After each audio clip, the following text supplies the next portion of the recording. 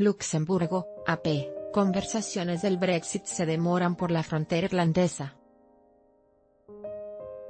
¿Cómo asegurarse de que no se cree una frontera dura entre la República de Irlanda-miembro de la UE-e Irlanda del Norte, que es parte del Reino Unido, una vez ocurra el Brexit el 29 de marzo? Es la incógnita que mantiene tensa las conversaciones del Brexit, a dos días de la cumbre en la que Gran Bretaña, y la UE tendrían que alcanzar un acuerdo para la separación, ambas partes siguen renuentes a cejar sobre la cuestión irlandesa. Las reuniones diplomáticas del fin de semana habían generado esperanzas de un acuerdo entre las partes. Pero fueron frustradas por el asunto que ha varado las conversaciones durante meses, la frontera irlandesa. La UE propone un backstop, o barrera, que mantendría a Irlanda del Norte dentro de una unión aduanera para evitar una frontera dura entre esta e Irlanda. Pero Theresa May, la primera ministra británica, sostiene que crearía una frontera en el mar de Irlanda y no lo acepta. Gran Bretaña propone mantener a todo el Reino Unido en una unión aduanera con la UE, pero en forma temporaria.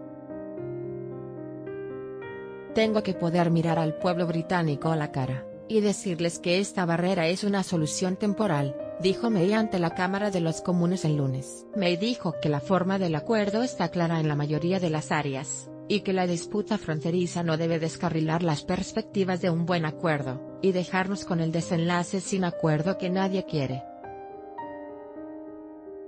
Revivir tensiones La UE ha propuesto que Irlanda se mantenga en una unión aduanera con el bloque para evitar esa frontera dura,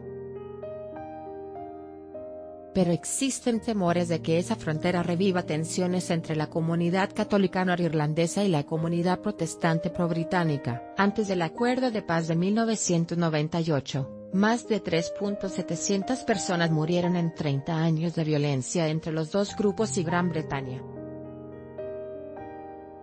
Londres dice que solo aceptará ese plan si es temporario, y no separa Irlanda del Norte del resto del Reino Unido en materia aduanera. Por su parte, el ministro del Exterior irlandés Simon Coveney dijo que se sentía frustrado por la demora, y que aparte de Gran Bretaña, Irlanda es el país más perjudicado por el Brexit. Insinuó que May violaba en parte el compromiso que hizo Londres en diciembre de garantizar que no habría una frontera dura en la isla de Irlanda.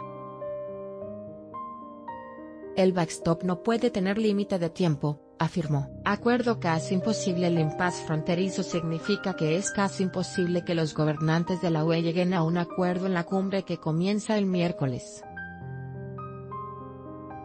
Los parlamentos británico y de la UE deben aprobar el acuerdo al que se llegue, un proceso que podría tomar varios meses. La canciller alemana Angela Merkel, tal vez la voz más influyente en la UE, dijo el lunes que el bloque quiere que Gran Bretaña salga ordenadamente, pero no a cualquier precio.